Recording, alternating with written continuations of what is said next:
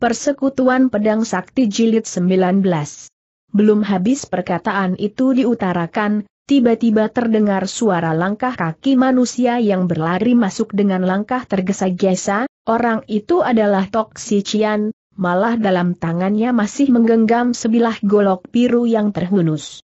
Namun ketika dia menyaksikan orang-orang yang hadir dalam ruangan, orang itu segera berdiri tertegun.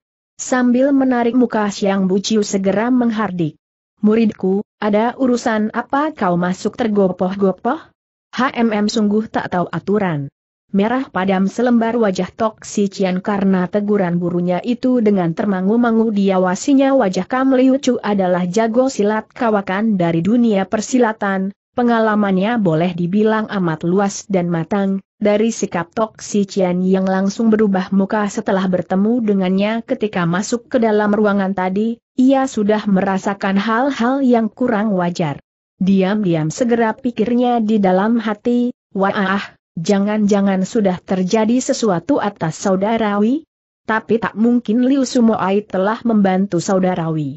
Sekalipun jejak mereka ketahuan, tak mungkin mereka dibekuk lawan, kecuali kalau kedua orang itu telah berjumpa dengan racun. Tanda petik.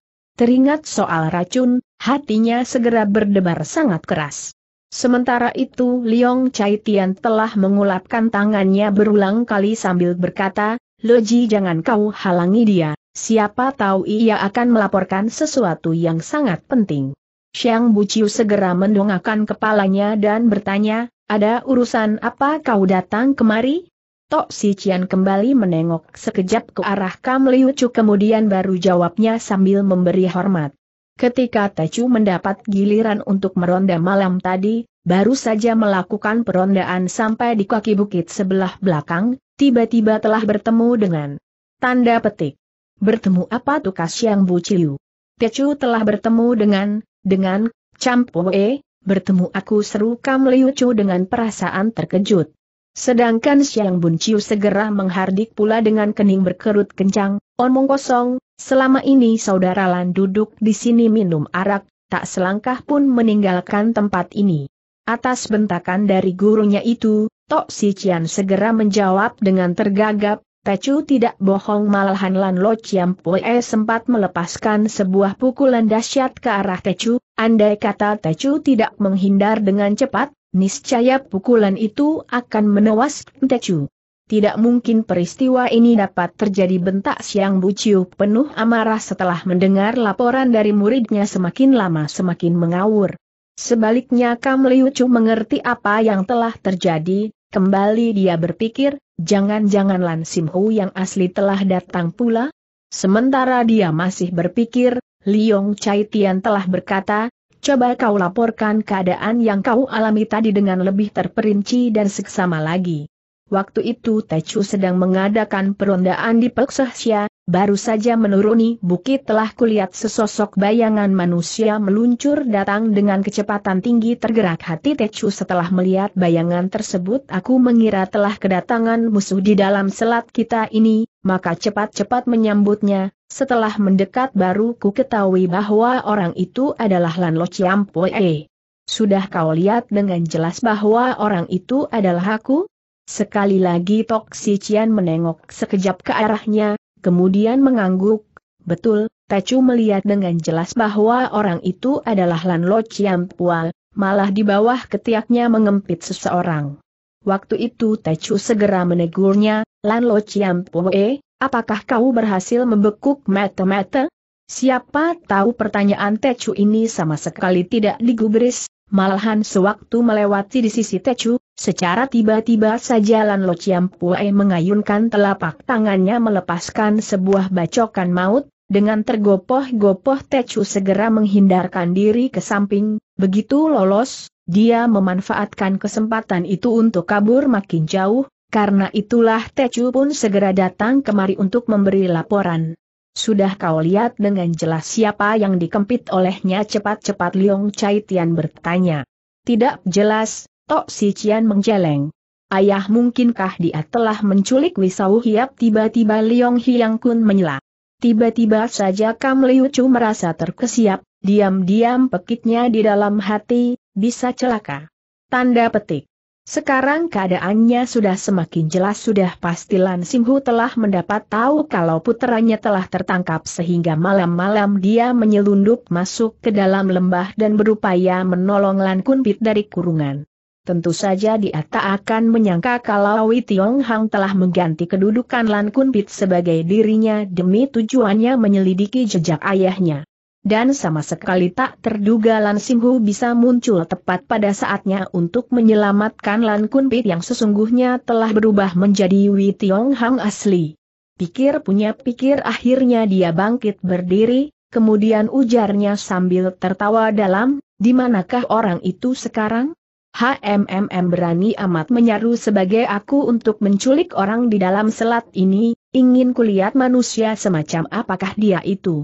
Belum habis dia berkata, tiba-tiba tampak lagi seorang lelaki berbaju hitam yang masuk ke dalam ruangan dengan langkah tergesa-gesa, begitu bersua dengan Leong Chai Tian ia segera memberi hormat sambil katanya.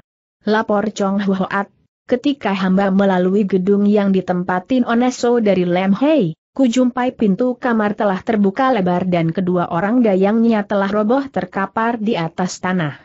Setelah menyaksikan peristiwa tersebut hamba sadar pasti telah terjadi sesuatu peristiwa, baru saja akan melakukan penyelidikan, siapa tahu baru saja anak buah hamba memasuki pintu ruangan, tanpa sebab musabab yang jelas kedua orang anak buah hamba itu sudah roboh terjengkang, itulah sebab hamba khusus datang kemari untuk memberikan laporan. Berubah hebat paras muka Liong Chai Tian sesudah mendengar perkataan itu, dia segera mengulapkan tangannya, lalu kepada Siu It Hang serunya, bisa jadi musuh datang dari Pek Sehsia, Siu Lo Sem, kau segera berangkat ke Pek Sehsia dan hadang jalan mundur musuh. Serigala kuning cakar beracun Siu It Hang mengiyakan dan segera berangkat dengan langkah tergopoh-gopoh menyusul kemudian Leong Chai Tian berkata pula kepada Xiang Bu Chiu, Xiang Loji kau pun berangkat ke Sui.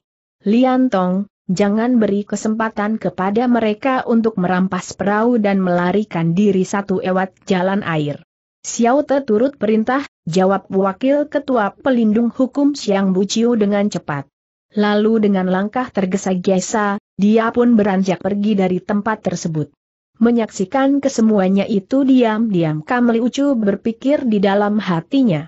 Kalau didengar dari nada suaranya barusan, mungkin yang dimaksudkan sebagai peksahsia adalah lorong di bawah sumur kering yang kami lalui tempo hari.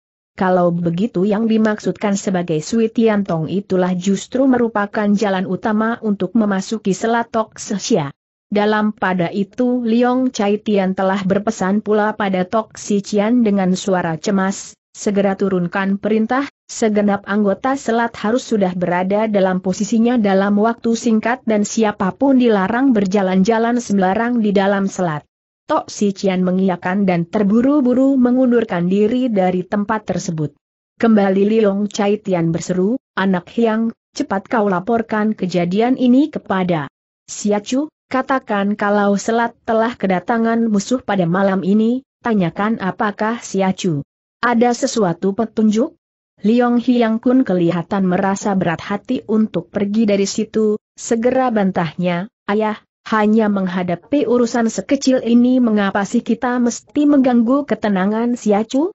Sudah jelas dia amat mengkhawatirkan keselamatan Witiong Hang sehingga merasa segan untuk masuk ke dalam.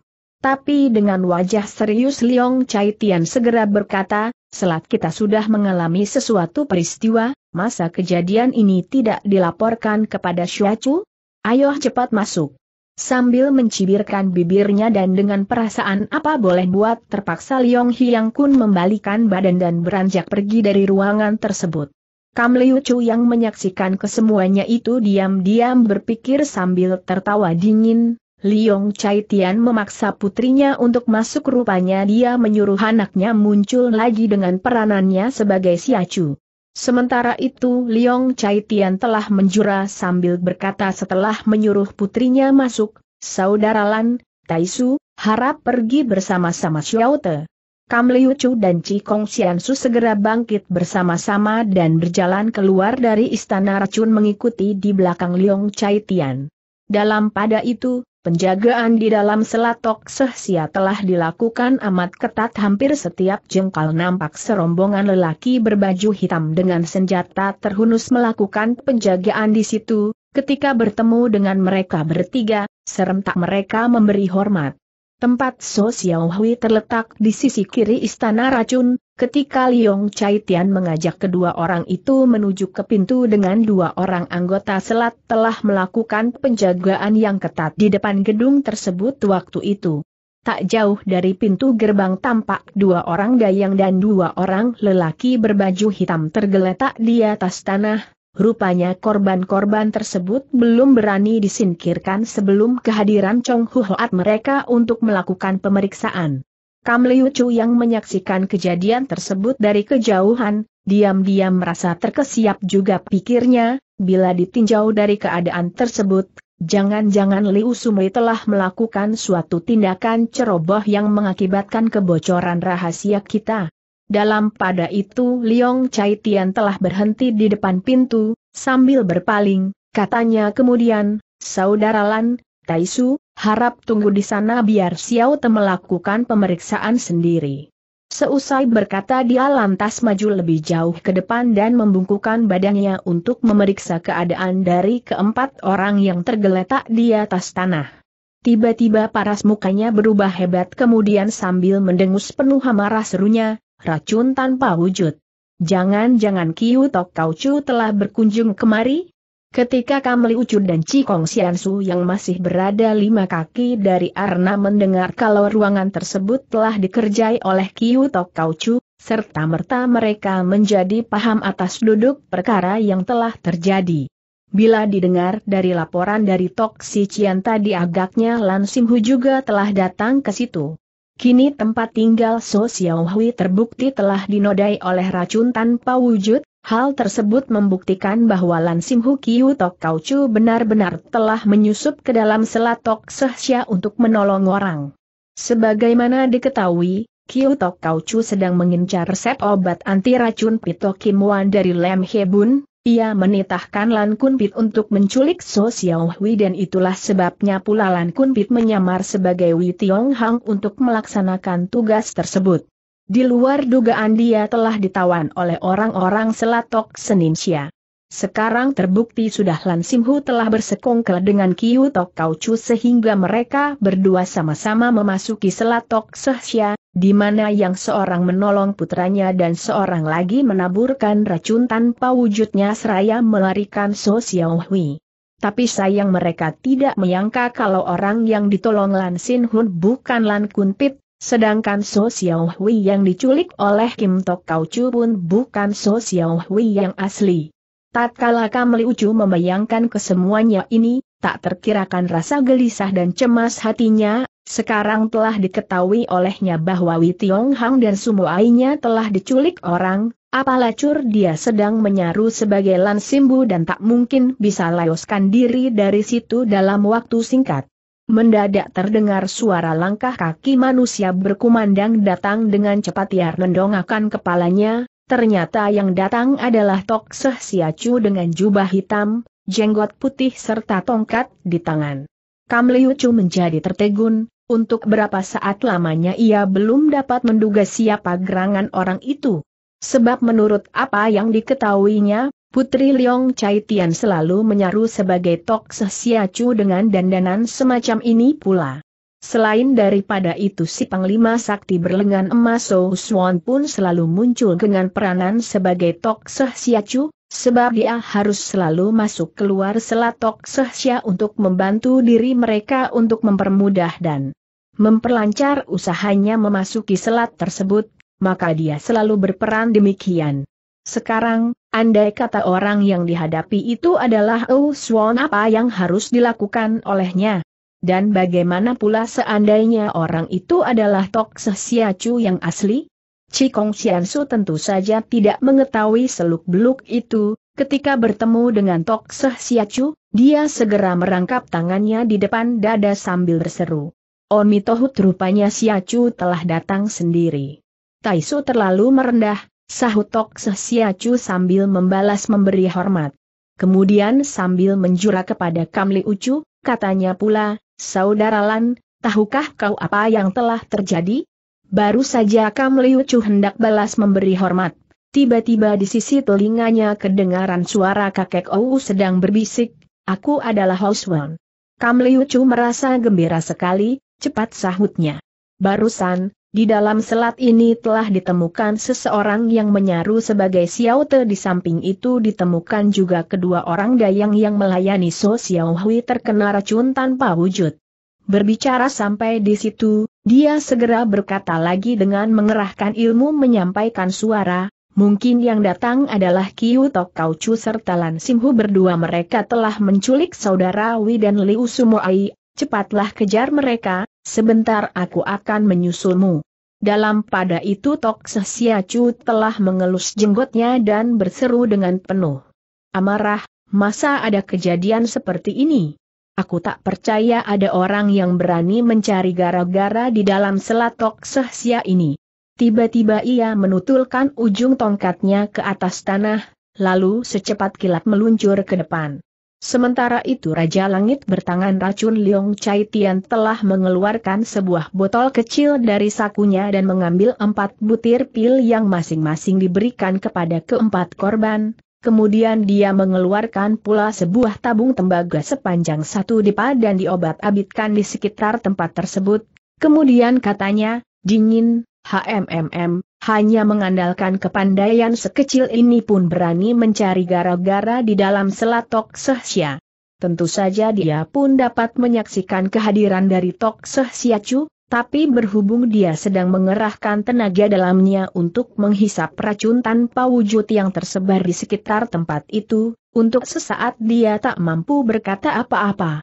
Menanti sampai racun tanpa wujud itu sudah terhisap habis dan menyumbat tabung dengan kapas dia baru mendongakkan kepalanya dan berkata kepada Cikong Siansu, Taisu, cepat hadang kepergiannya orang itu adalah Kiu Tok Kau Chu yang menyaru sebagai Siacu. Tak terlukiskan rasa kaget Kamli Ucu, sehabis mendengar perkataan itu, diam-diam pikirnya, sungguh hebat ketajaman mata bajingan tua ini. Dalam pada itu Cikong Siacu telah menjejakkan kakinya ke atas tanah dan melakukan pengejaran ke depan, satu ingatan segera melintas di dalam benak Kan Li Ucu serta merta dia pun mengikuti di belakang Cikong Siansu untuk berlalu dari situ. Kebetulan sekali pada waktu itu kedua orang lelaki dan dayang itu telah mendusin kembali dan bangun duduk. Ketika melihat Chong Hu Hoat berada di situ, dengan tergopoh-gopoh mereka bangun berdiri seraya memberi hormat. Liong Chai Tian segera mengulapkan tangannya dan bertanya kepada kedua orang dayang itu. Titik dua ayo cepat bilang, Nona So berada di mana? Semalam Siacu telah berkunjung kemari menyuruh Nyonya So keluar dari pintu, siapa tahu baru saja sampai di depan pintu, Nona So roboh dan bisa bangun lagi, budak segera memburu keluar, siapa tahu kepala budak pun menjadi pusing lalu tak tahu apa dua lagi. Terbukti sekarang, pasti ulah ini perbuatan dari Kiu Tok Kaucu, seru Leong Chai Tian penuh amarah. Tiba-tiba tubuhnya melejit ke tengah udara kemudian mengejar ke arah Pek Sehsia. Sementara itu, Cikong Siansu yang melakukan pengejaran dengan kencang telah berhasil menyusul Tok Sehsia Chu yang sedang berlarian menjauhi selat. Begitu berhasil mendekati orang itu, Cikong Siansu segera berseru dengan lantang. Siacu, harap berhenti dulu. Tok Siacu berpaling, ketika melihat orang yang datang adalah seorang Hwasyo berbaju merah, dia pun berhenti berlari sambil bertanya, ada apa? Dengan suatu gerakan secepat kilat Cikong Siansu berkelebat maju ke muka, lalu serunya sambil tertawa seram. Chong Huhoat mengundangmu untuk kembali. Mendadak Tok Sesiacu berseru sambil tertawa nyaring. Haa haa aku perintahkan kepadamu untuk pulang dulu. Begitu selesai berkata, tangan kanannya segera diayunkan ke muka melepaskan sebuah dahsyat ke dada Cikong Siansu. Segulung tenaga pukulan yang sangat kuat diiringi suara desingan angin tajam segera meluncur ke muka. Sesungguhnya Cikong Siansu adalah seorang jago lihai dari perguruan Mi Tiong Hun tiga tahun berselang dia telah diundang Leong Chai Tian dengan honor tinggi untuk menjadi seorang pelindung dari Selatok Sehsia. Di dalam tiga tahun atas bantuan dari Liong Chai Tian yang menyediakan obat-obatan beracun ia telah berhasil menguasai ilmu Tok Jiueng. Maka ketika dilihatnya Tok Sesiacu melepaskan sebuah pukulan ke arahnya sambil tertawa-tertawa tergelak segera serunya. Haa haa haa kiu Tok Kaucu, bila kau ingin mengajak aku beradu pukulan, maka kau telah salah mencari orang. Dia mundur selangkah, Lalu tangan kanannya sebesar kipas dikeluarkan dari balik jubahnya dan diayunkan ke muka, dalam waktu singkat warnanya telah berubah menjadi hitam pekat. Angin pukulan yang sangat kuat itu segera menggulung ke depan dan menyongsong angin serangan yang dilepaskan oleh Tok Sesiacu itu. Perlu diketahui, meskipun ilmu Tai Jiueng dari perguruan Mi Tiong Bun termasuk ilmu aliran luar, namun serangannya sama sekali tidak menimbulkan desingan angin.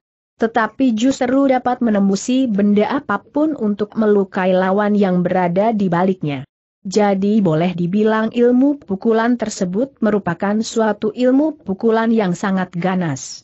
Tatkala sepasang tangan saling beradu satu sama lainnya, mencorong sinar tajam dari balik mata, Tok Seh Siacu, segera ujarnya sambil tertawa bergelak, Hei Hwasio, sedari. Tadi sudah ku ketahui kalau kau memiliki ilmu pukulan Tok Jiueng yang ganas. Rupanya Tok Sesiacu yang ini bukan Kiu Tok Kaucu seperti apa yang diduga melainkan kakek Ou yang datang untuk menolong Witiong Hong.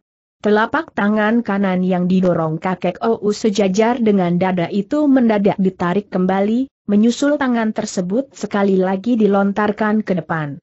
Gerakan menarik dan melontar yang dilakukan amat cepat ini namun benar-benar di luar dugaan, tahu-tahu saja. Blaam. Angin pukulan yang lebih kuat dan dahsyat bagai amukan angin taupan menyapu ke depan.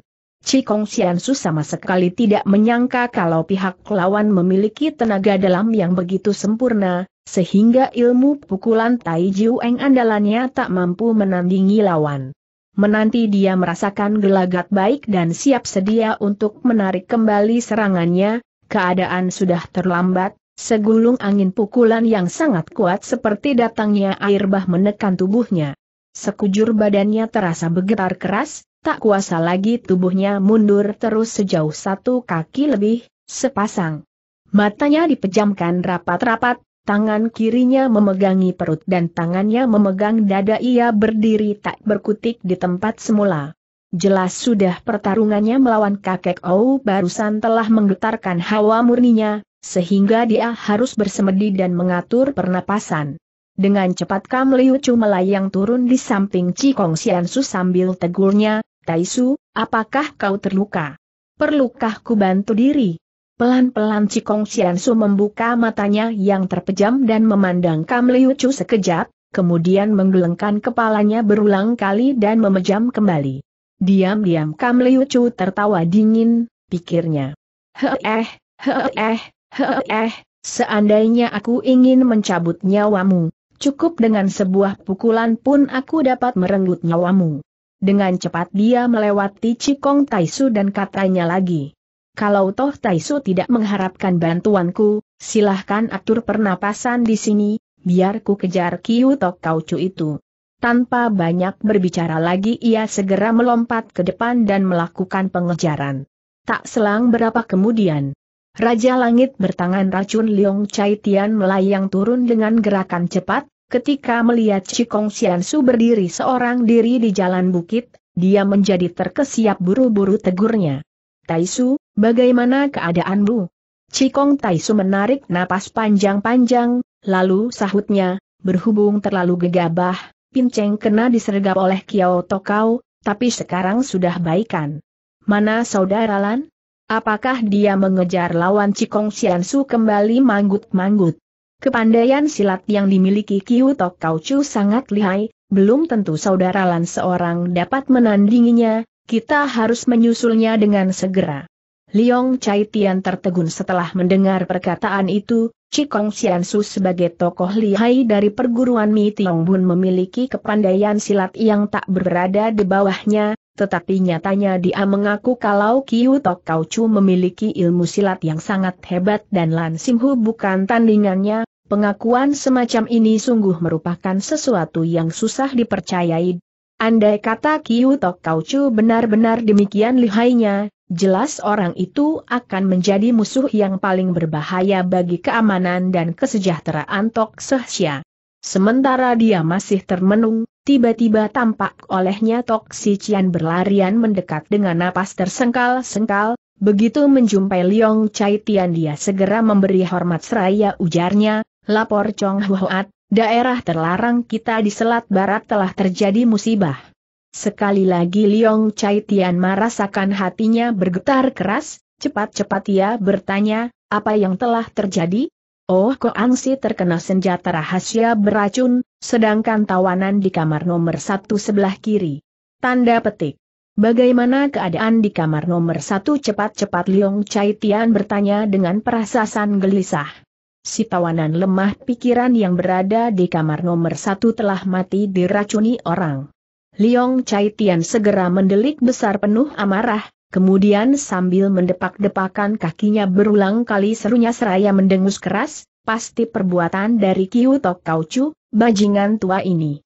Ia segera berpaling ke arah Cikong Siansu, kemudian serunya, Taisu, ayo kejar. Dengan cepat bagaikan gulungan asap, kedua orang itu bergebrak menelusuri jalan bukit menuju ke Pek Sehsia.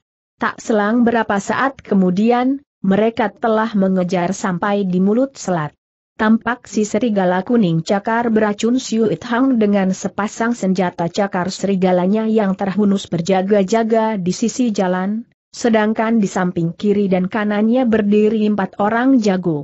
Dengan suatu gerakan cepat Liong Chai Tian meluncur ke muka, lalu dengan wajah dingin bagaikan salju, dia memandang sekejap sekitar situ dan katanya kemudian dengan suara dalam, Siu Losam, apakah Kiu Tok Kau Chu telah melarikan diri melalui jalanan ini?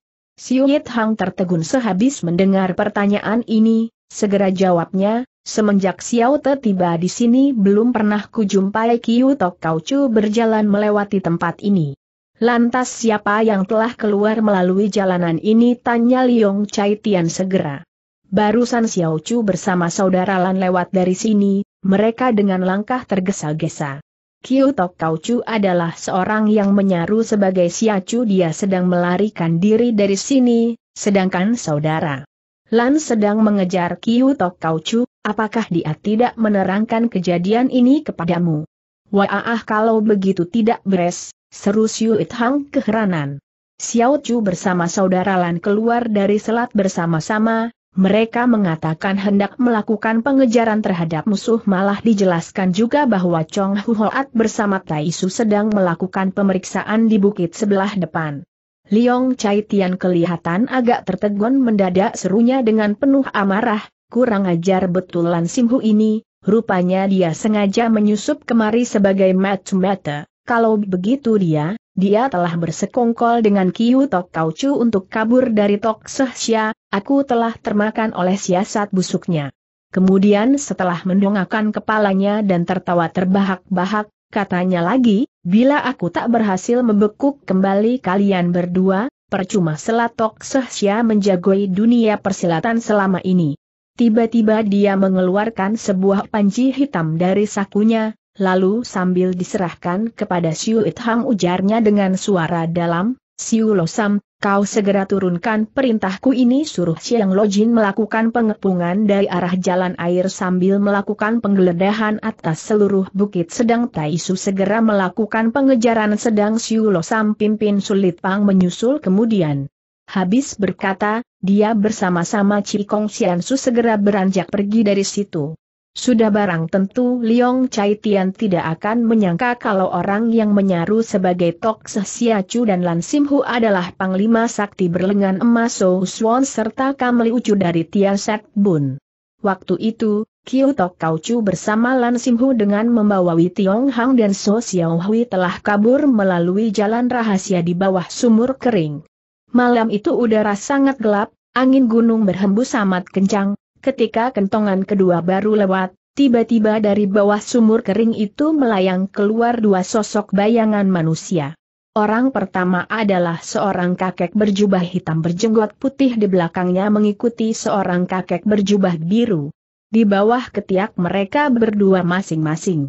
Mengempit seseorang, baru saja muncul dari balik sumur kering, dari balik pepohonan dan semak belukar, bermunculan enam sosok bayangan hitam yang segera menghampiri kedua orang itu dengan gerakan cepat. Keenam orang itu adalah dua orang gadis berbaju hitam yang bertubuh ramping serta empat orang lelaki baju hitam yang memakai kain kerudung muka. Kakek berjenggot berwarna putih itu sama sekali tidak berbicara apa-apa, dia hanya mengulapkan ujung bajunya kemudian kakek berjubah biru itu beranjak lebih dulu dari situ. Dalam sekali lompatan saja kedua sosok bayangan manusia itu sudah berada sejauh satu kaki dari tempat semula gerakan tubuhnya cepat sekali. Kedua orang gadis dan keempat lelaki berkerudung itu segera mengerahkan pula ilmu meringankan tubuh masing-masing, bagaikan gulungan asap hitam mereka menyusul di belakang kedua orang pertama. Setelah keluar dari Goa Wapek, Sehtong, Tempat itu merupakan sebuah jalan kecil yang menjulur ke arah timur. Puluhan li perjalanan selanjutnya merupakan jalan gunung yang berliku-liku. Namun rombongan tersebut masing dua memiliki kepandaian silat yang luar biasa, tanpa menjumpai kesulitan apa pun, dengan suatu gerakan yang kilat, sekejap kemudian puluhan li telah dilampaui. Sementara perjalanan ditempuh, mendadak dari bawah kaki bukit di depan sana muncul sebuah lentera berwarna merah, di tengah kegelapan malam, lentera itu bagaikan mengambang di atas permukaan tanah. Tak lama kemudian lentera merah itu berubah menjadi dua buah lentera. Kemudian dari dua buah lentera berubah lagi menjadi empat buah lentera. Lentera-lentera berwarna merah itu bergerak di sekitar kaki bukit dengan enteng dan cepat, lambat laun semakin mendekati rombongan tersebut. Akhirnya terlihat sudah sebuah tandu yang bergerak cepat mendekati rombongan itu. Orang yang berada di depan tandu bergerak membawa sebuah lentera orang yang berada di belakang tandu pun membawa sebuah lentera, sedangkan di sisi depan dan belakang tandu tergantung juga masing-masing sebuah lentera merah. Berjalan sambil membawa lentera merah di tengah malam buta sesungguhnya merupakan suatu kejadian yang lumrah, tapi jalan gunung itu tidak terlalu lebar, bila terjadi simpangan mestinya salah satu pihak harus mengalah untuk menyingkir lebih dulu. Akan tetapi tandu yang bergerak datang dari arah depan itu tampaknya enggan mengalah tampak seorang Niko setengah umur yang berjalan di muka tandu dan membawa sebuah lentera itu segera memberi hormat dan berseru begitu jarak kedua belah pihak tinggal satu kaki, harap si Cu sekalian mundur dari situ, jangan sampai menumbuk unsin Nio. Nio dari kuil kami. Aku tak pernah menyingkir dari jalanan yang sedang kutempuh, lebih baik kasuruh mereka menggotong minggir tandu itu, kata kakek baju hitam berjenggot putih itu. Tampaknya Niko setengah umur itu merasa tertegun dia segera mengangkat lenteranya lebih tiagi untuk menerangi wajah kakek tersebut, kemudian serunya tertahan. Aha, rupanya Lo Sicu, Unsin Nio Nio dari kuil kami baru saja keluar berjalan-jalan dan saat ini akan pulang kembali, Lo Sicu sebagai orang yang sering bersiarah ke kuil kami, tentunya mengerti bukan bahwa Unsin Nio Nio kami tak pernah menyingkir. Kakek berjubah hitam berjanggot putih yang mengempit seseorang di bawah ketiaknya itu segera menukas dengan nada tak sabar, kau tidak usah cerewet terus di hadapanku, bila kalian tak mau menyingkir lagi, jangan salahkan bila kami akan menerjang dengan kekerasan. Niko setengah umur itu menunjukkan perasaan serba salah setelah ragu sejenak, akhirnya menggapai ke arah seorang Niko kecil yang mengikuti di belakang tandunya sambil berseru. Sumoai, cepat kemari kau. Niko kecil itu menyabut dan berjalan mendekat, tanyanya, Suci, ada urusan apa? Sambil menuding ke arah kakek berjenggot putih berjubah hitam itu Niko setengah umur itu berkata, Lo Sicu ini sering kali mengunjungi kuil kami untuk berziarah hitung-hitung dia masih termasuk seorang pengikut Nio Nio tapi hari ini tampaknya Lo Sicu tersebut ada urusan ingin cepat-cepat pulang ke gunung, Coba kau minta petunjuk dari Nio Nio, apakah boleh mempersilahkan mereka untuk lewat lebih dahulu?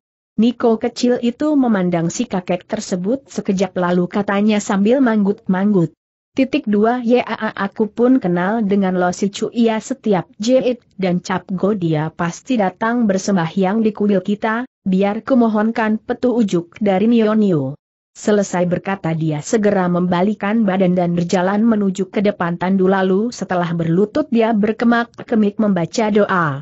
Selang berapa saat kemudian dia bangkit kembali dan katanya sambil menggeleng, Niomo berkata, orang yang sering kali bersembahyang di kuil kita setiap jait dan cap go bukan dia. Niko setengah umur itu berpaling dan mengamati kembali si kakek berjenggot putih itu lalu serunya, sudah jelas dia orangnya, kenapa dibilang bukan? Oh ya, apalagi yang diucapkan Nionio? Nionio berkata, maka mereka diperintahkan untuk melepaskannya. Ketika mendengar sampai di situ, Tiba-tiba si kakek berjubah hitam berjenggot putih itu mendongakkan kepalanya dan tertawa terbahak-bahak, katanya, ha-ah, ha-ah, aku masih menduga si Acu yang telah bersandiwara memamerkan pesan dari malaikat, rupanya kalian adalah orang-orang dari Tok Sehsya. Kembali Niko setengah umur itu tertegun, Lo Sicu keliru besar, Pini berasal dari kuil Cunti Angguapek Sehtong mencorong sinar tajam dari balik mata kakek berjubah hitam berjenggot putih itu, setelah mendengar pengakuan mana, katanya lagi dengan suara dalam, bila kalian tidak segera menyingkirkan tandu itu, jangan salahkan bila ku hancurkan tandu tersebut dengan sebuah pukulan yang dahsyat. Niko setengah umur itu berseru kaget lalu mundur dua langkah dengan ketakutan. Suci, Niko kecil itu berkata lagi. Nio-Nio berpesan pula, bila dia enggan menyingkir untuk memberi jalan kepada kita, maka kita harus mengalah kepadanya. Apa? Tandu suci dari Nio-Nio harus mengalah kepadanya. Nio-Nio telah menurunkan firmannya sebab menurut Nio-Nio, kalau toh dia tak percaya dengan dewa, kita toh tak bisa memaksanya untuk mempercayainya, karena itu biarlah kita mengalah padanya. Niko setengah umur itu manggut dua kepada kedua orang nenek pemikul tandu itu katanya kemudian, Nio Nio telah memberikan persetujuannya untuk mengalah, mari kita menyingkirkan. Kedua orang nenek pemikul tandu itu tidak mengucapkan sepatah kata pun, mereka benar-benar menggotong tandu tersebut dan menyingkirkan ke sisi jalan. HMM, kalian memang sudah seharusnya menyingkir sedari tadi, seru kakek berjenggot putih berjubah hitam itu dingin. Ia segera mengulapkan tangannya sambil berseru. Saudara Lan, silahkan duluan. Kakek berjubah biru itu mengawasi tandu tersebut lekat-lekat, mendadak ia berbisik, kau cu, lebih baik suruh mereka berangkat lebih dulu. Terlintas satu ingatan dalam benak si kakek berjubah hitam berjenggot putih itu, kemudian sahutnya sambil manggut-manggut, Begitupun ada baiknya juga. Selesai berkata, kembali dia mengulapkan tangannya.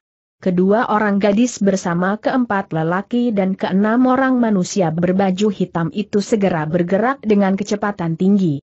Dengan cepat kakek berjubah biru dan kakek berjubah hitam berjenggot putih itu pun bergerak melintasi tandu tersebut. Setelah lewat, kakek berjubah hitam berjenggot putih itu kembali berpaling sambil katanya dingin. Menurut pendapatku, lebih baik kalian tak usap kembali ke kuil lagi. Semoga lo sicu baik-baik di jalan, sahut Niko setengah umur itu sambil menjura, malam ini juga Pinie sekalian harus tiba kembali di dalam kuil. Kakek berjubah hitam berjenggot putih itu mendengus dingin, kemudian membalikan badan dan beranjak pergi dari situ. Siapa tahu baru saja berjalan sejauh tiga kaki lebih, Tiba-tiba saja kedua orang gadis, keempat lelaki dan enam manusia berbaju hitam itu berjalan sempoyongan, lalu diiringi seruan kaget bersama-sama jatuh terduduk di atas tanah. Berubah hebat paras muka kakek berjubah biru itu, segera dia menghentikan langkahnya sambil berseru. Kau cu, kita sudah terkena serangan gelap orang. Kakek berjubah hitam berjenggot putih itu membungkukkan badannya serta memeriksa sekitar tempat itu kemudian katanya sambil mendengus dingin, HMM, racun tanpa wujud, ternyata mereka benar-benar adalah orang-orang selatok sehsya.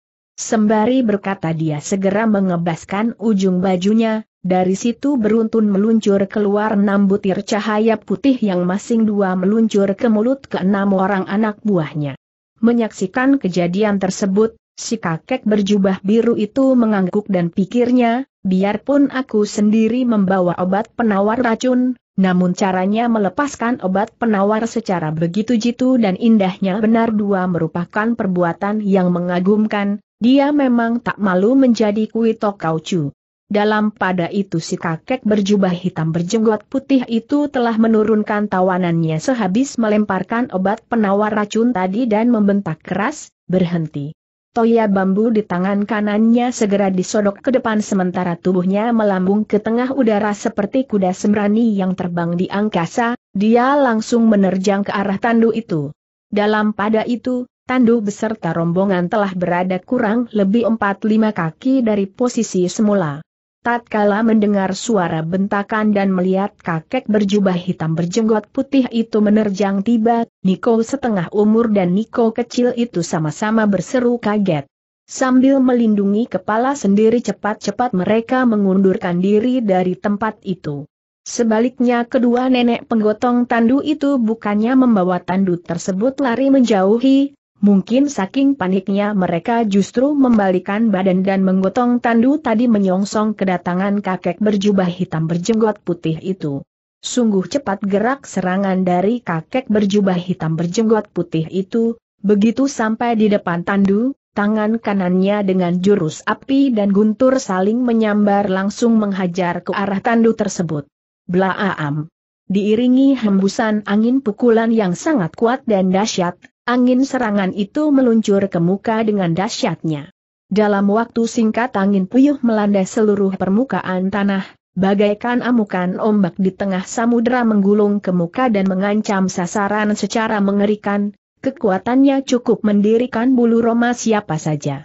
Tetapi anehnya, sekalipun angin pukulan yang meluncur ke depan itu amat dahsyat dan diiringi desingan angin tajam yang menggidihkan hati, akan tetapi sama sekali tidak menimbulkan perlawanan apa pun tatkala menerjang ke depan tandu itu, bahkan tak berhasil pula untuk menyentuh sasaran. Gulungan angin pukulan yang maha dahsyat itu seolah-olah terjerumus ke dalam sebuah jurang yang tak kelihatan dasarnya, sama sekali tidak menimbulkan reaksi apa pun, lenyap dengan begitu saja ke dalam tandu itu. Jangan lagi menghancurkan tandu tersebut malahan tirainya saja tidak bergerak. Tak terlukiskan rasa terkejut dan terkesiap dari si kakek berjubah hitam berjenggot putih itu, cepat-cepat dia mundur ke belakang sambil bentaknya, siapa yang berada di dalam tandu. Niko setengah umur yang telah menyingkir jauh-jauh itu segera berseru keras, yang berada di dalam tandu adalah Tusin Nionio yang baru pulang dari keliling bukit. Agaknya Lan Simhu pun sudah menyaksikan ketidakbersan dari tandu tersebut, ia segera bertanya, apakah kau Cu telah merasakan sesuatu yang tidak beres dengan tandu itu? Kakek berjenggot putih berjubah hitam segera berpaling, ujarnya kemudian, aku rasa, saudara Lan juga telah menyaksikan sendiri, angin pukulan yang kulancarkan barusan tiba-tiba saja lenyap tak berbekas begitu sampai di muka tandu itu, benar dua suatu kejadian yang sangat aneh. Jangan-jangan di balik tandu itu terdapat seorang jagoan yang berilmu tinggi? Ya aku rasa memang begitu, kakek berbaju hitam berjenggot putih itu manggut dua, ingin kulihat manusia dari mana yang bisa menerima sebuah pukulanku tanpa menimbulkan reaksi apa pun. Sembari berkata dia segera meloloskan pedang, lalu berjalan menghampiri tandu itu. Si Niko setengah umur itu segera menjerit kaget, lalu teriaknya dari kejauhan, Lo Sicu, isi tandu itu benar-benar adalah Tusin Nionio dari kuil kami, harap Lo Sicu jangan berbuat sembrono. Selama hidup aku tak percaya dengan tahayul jengek si kakek sambil tertawa dingin. Tampaknya Niko setengah umur itu tak berani menghalangi niatnya, ia membiarkan kakek berjubah hitam itu mendekati tandu tersebut, hanya ujarnya dingin, bila Lo Sicu berani berbuat kurang ajar terhadap Pousat, maka resiko dan dosanya harus kau pikul sendiri.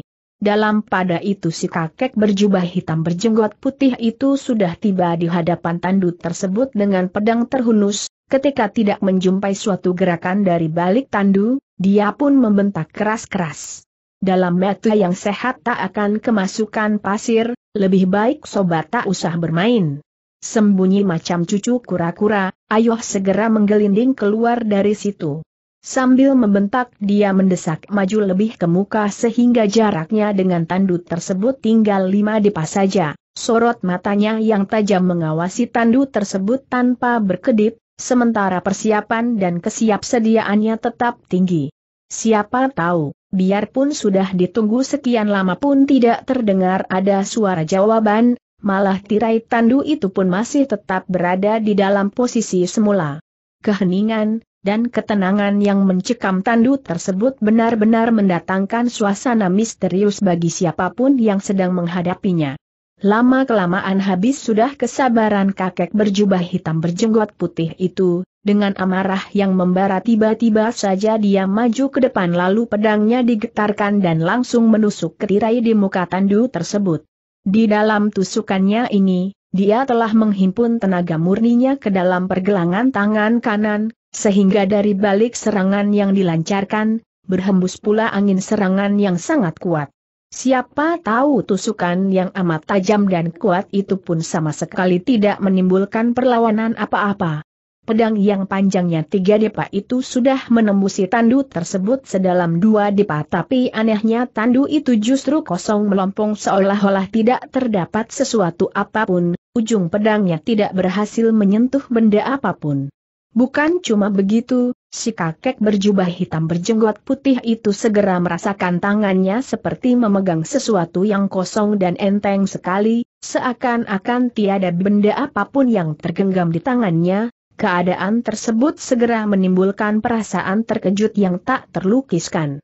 Ia sadar telah terjadi sesuatu yang tak heran, karenanya cepat-cepat dia mencabut kembali pedangnya. Namun perbuatannya ini kembali membuat hatinya terkesiap bercampur ngeri, rupanya pedang yang digunakan untuk menusuk tandu tersebut telah dipapas orang sampai kutung tanpa menimbulkan suara apa pun jua. Dari sini terbuktilah sudah bahwa orang yang berada dalam tandu itu selain memiliki ilmu silat yang sangat lihai, bahkan dia pun memiliki sebilah pedang mestika yang amat dua tajam dan luar biasa. Sambil menggenggam kutungan pedangnya dengan cepat kakek berjubah hitam berjenggot putih itu mundur dua langkah ke belakang bentaknya kemudian, ilmu silat yang Anda miliki amat dahsyat kau pun mempunyai senjata. Mestika yang sangat tajam, jelas sudah bahwa kau bukan manusia sembarangan di dalam dunia persilatan, tetapi aneh betul, mengapa tindak tandukmu justru pengecut dan macam kura-kura saja, beraninya hanya bersembunyi di balik tandu. Si Niko kecil yang mendengar teriakan tadi kontan saja tertawa cekikikan segera. Katanya, kau benar-benar aneh lucu, sudah jelas yang berada di dalam tandu adalah Unsin Nio Nio, masa kau anggap sebagai manusia? Sedangkan Niko setengah umur itu berkata pula, kalau toh lo si Cu tak mau percaya, biar ku suruh Popo untuk menyingkapkan tirai di depan tanduk tersebut sehingga kalian dapat menyaksikan dengan lebih jelas lagi. Waktu itu, kedua orang nenek penggotong tanduk tersebut telah menurunkan tandunya serta menyingkir jauh-jauh, ketika mendengar perkataan Niko setengah umur tadi. Salah seorang di antaranya segera menyahut dan segera berjalan menuju ke sisi tandu. Sudah barang tentu kakek berjubah hitam berjenggot putih itu tak percaya kalau orang yang mematahkan pedangnya benar-benar adalah Unsin Nio Nio, Dewi Suci wabah penyakit, tentu saja dia merasa amat gembira ketika Niko-Niko tersebut membukakan tirai tandu tersebut baginya. Asalkan tirai tandu itu sudah disingkap, maka dengan cepat dia akan mengetahui siapa gerangan manusia yang telah menyambut pedangnya serta mengutungi pedangnya itu. Semestara itu, keenam orang anggota perguruannya telah mendusin dari pingsannya dan sama-sama telah bangkit berdiri. Lan Simhu segera menyerahkan tawanan kepada dua orang lelaki berbaju hitam yang berada di sisinya, kemudian pelan-pelan pula ke depan. Ketika nenek penggotong tandu itu sudah berada di depan tandu serta membuka tirai, maka tampaklah di balik tandu tersebut benar dua duduk sebuah patung dewi yang berambut hijau dan bermuka tembaga. Mula-mula kakek berjubah hitam berjenggot putih itu nampak tertegun, tapi kemudian katanya sambil tertawa. Aku tak percaya kalau kau benar dua adalah sebuah patung tembaga. Dari balik tongkat bambunya dia mengeluarkan sebuah senjata penggaris kemala dan secepat kilat diketukan ke atas kepala tembaga dari patung tersebut. HMMM. Mendadak dari balik mulut patung tembaga itu mengeluarkan suara dengusan dingin yang rendah dan berat, tahu-tahu kepala tembaga itu miring ke samping dan tangan tembaga yang semula berada di depan dadanya diangkat ke atas dengan cepat serta mencengkeram penggaris kemala tersebut. Sesungguhnya kakek berjubah hitam berjenggot putih itu adalah seorang ahli dalam ilmu beracun, di saat ia menarik kembali serangannya dengan gerakan cepat itulah, tiba dua. Tertangkap olehnya segulung asap amat tipis dua sukar terlihat dengan telanjang menyembur ke arah wajahnya.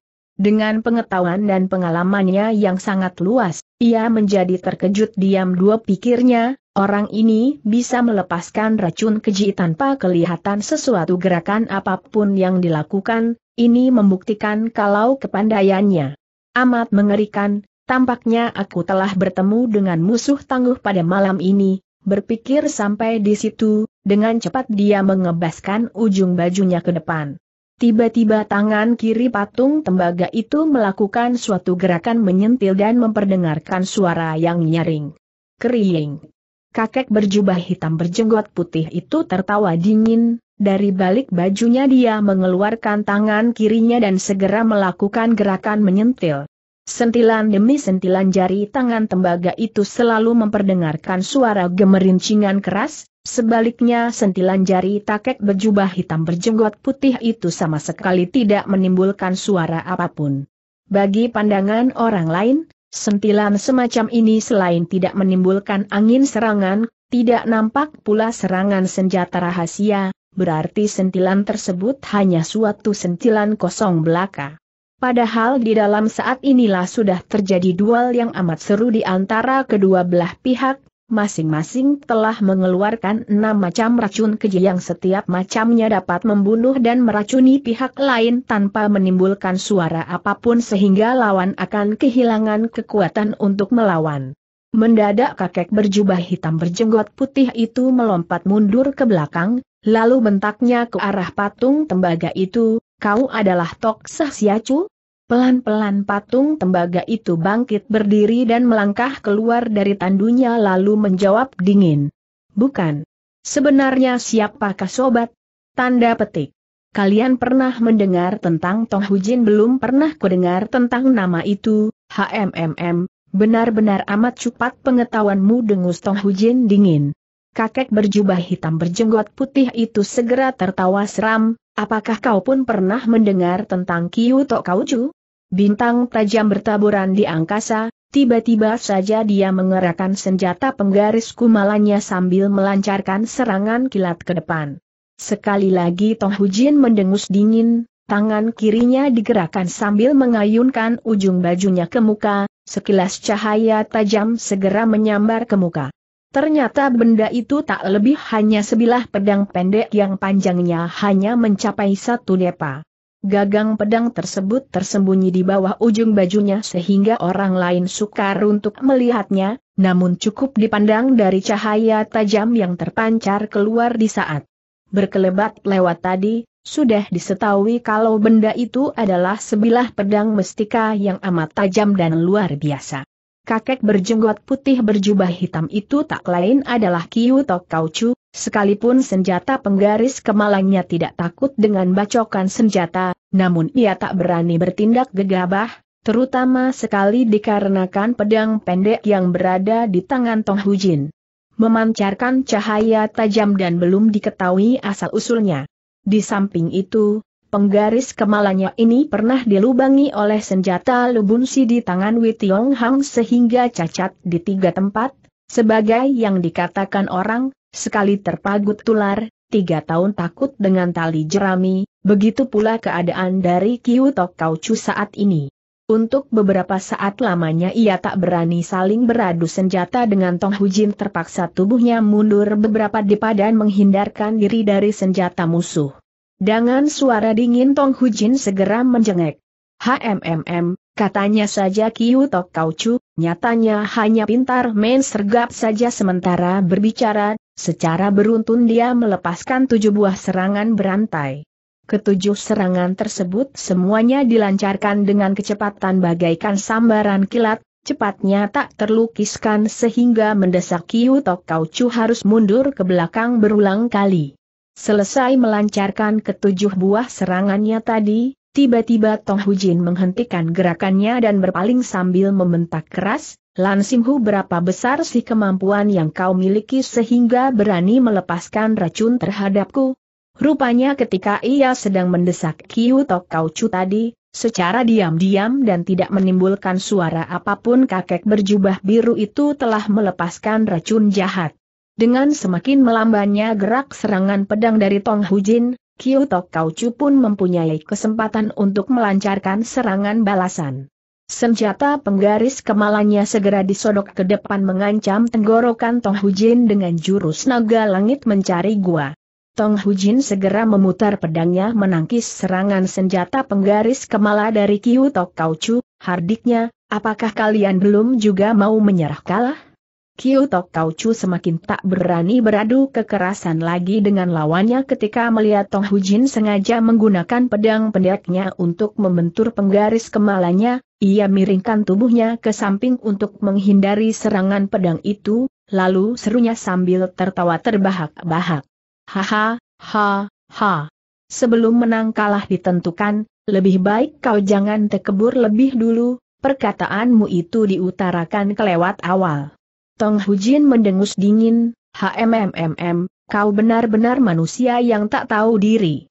Memangnya kau anggap aku takut kepadamu Hardik Yu Tok Kaucu dengan marah.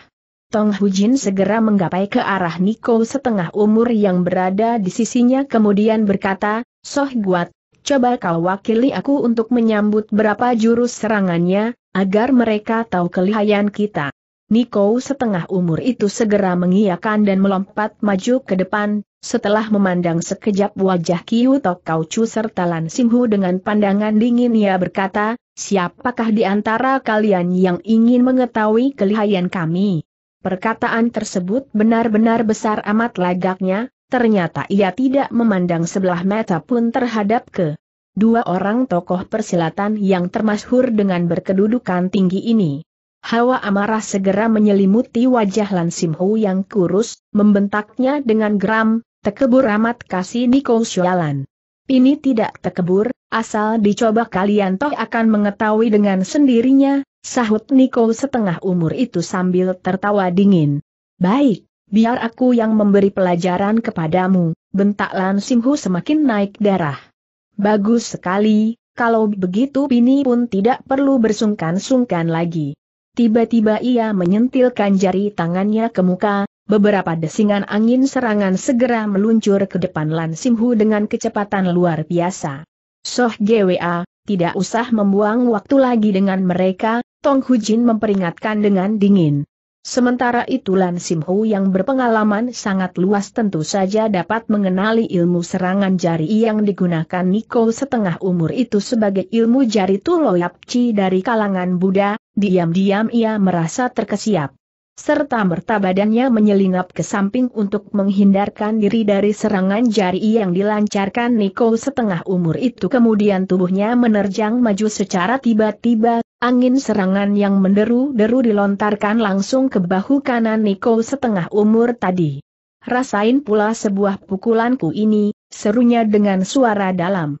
Tanpa berpikir panjang Niko setengah umur itu mengayunkan tangan kanannya ke muka untuk menyongsong datangnya serangan dari Lan Lam Singhu tersebut. Sebagai seorang tokoh silat yang amat termasyhur di wilayah In Lem Lan Simhu bukan hanya termasyhur karena ilmu beracunnya dalam ilmu pukulan pun dia mempunyai kematangan yang mengagumkan. Tatkala menyaksikan Niko setengah umur berani menyambut serangannya dengan keras. Melawan keras, diam-diam ia mendengus di dalam hati. Blaam tanda seru. Ketika sepasang telapak tangan itu saling beradu, terjadilah suara benturan keras yang memekikan telinga. Betul juga, setelah terjadi bentrokan kekerasan tersebut, paras muka Niko setengah umur itu berubah hebat saking kagetnya, sementara tubuhnya tergetar mundur sejauh dua langkah lebih.